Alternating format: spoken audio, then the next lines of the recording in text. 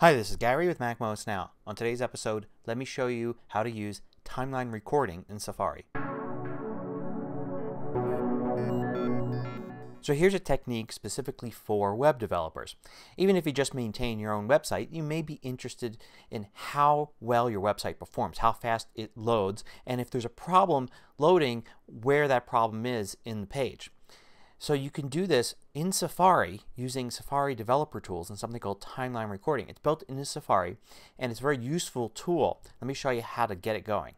So the first thing we need to do is go into Safari preferences and go to advanced and turn on the develop menu in the menu bar. So now we have this whole develop menu here. Now to view timeline recording we've got the ability to start timeline recording, but we don't necessarily want to start it now. The page is already loaded. We just want to be able to view it and then reload the page so we can see how long it takes to load each element. So let's go to the web inspector here which will bring up all the tools here at the bottom of the screen. And from there we can click the little clock icon here which will bring up the timeline. Now it's empty because we haven't done anything yet. The page was loaded before we brought this up. So I'm going to simply uh, refresh this page right here and then we'll see timeline recording uh, take place. And there we go. So now you can see here as it loads all the elements of the page, it basically lists all the elements here and I can scroll through. These are all the elements on this page and I can see a timeline of how long it took to load each one. And you can see for instance loading the uh, basic HTML here and then it started loading different elements for the page and it continued through here until the page was finally completed with the last element being loaded. Now you also get tons of information about each individual element and if you want to find out about something in particular uh, you can click the little arrow here and it will bring it up. In this case it's an image. It actually shows me the image. It could show you code. It could show you all sorts of things about the element and it gives you some information here on the left. I can use that back arrow there to go back.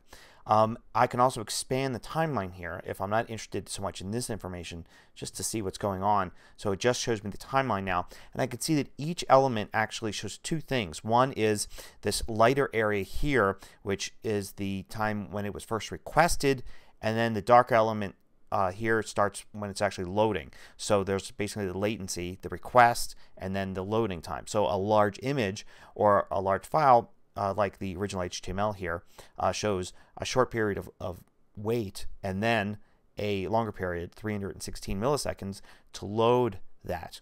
Now, of course, this is going to be heavily dependent on your connection at home. So just because you see it take a couple of seconds to load a page doesn't mean somebody else will. Somebody with a slower connection may see you know 20 seconds to load the page and somebody with a very fast connection may see one second to load a page. The important thing is not exactly how long it took to load the page, but how long each element took. And you can go and see if there's an element here that had a long latency or an element that took a long time to load because perhaps it was an image that was too big or maybe latency because it's hitting another server. A lot of these for instance are uh, hitting other servers for analytics, for ad serving, things like that that are out of my control for this page. But it is interesting to see how long things like here the Facebook like button uh, took to load. You can see it was a little bit of a delay there and I may want to weigh that against whether or not it's worth having it on the page. You also notice here at the top it breaks out uh, the different elements into network requests, uh, layout and rendering, and JavaScript. So this the network requests are all the things that have to do with the server and serving up the data. So you can see that finishes fairly quickly. There's a little more time spent uh, laying out items. And in addition to that, you see that JavaScript not only uh, takes longer, but it just continues to run uh, even after the page is already loaded. Of course, there's menus and things on many web pages that continue to use JavaScript even after the page is fully loaded. So for experienced web developers, of course, you should be able to use this to recognize when something may be taking too long to load on a page and see if you can improve that. Um, even if you're not a pro, uh, doing this with a website you've got may enlighten you to some things. Like for instance, you may have included some graphics or some widgets uh, from other services and you could find out using this that that might be delaying loading the page and you can decide whether or not it's worth keeping on your website. Hope you found this useful. Till next time, this is Gary with MacMost Now.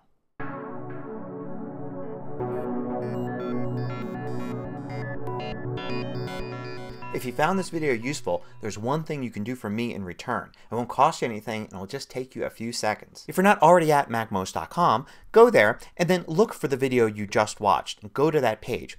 Underneath the video you'll see a bunch of different links that help you share the video with friends. Take a second to click the like button. This sends a signal out to the rest of the Internet that the video is worth watching. Thanks.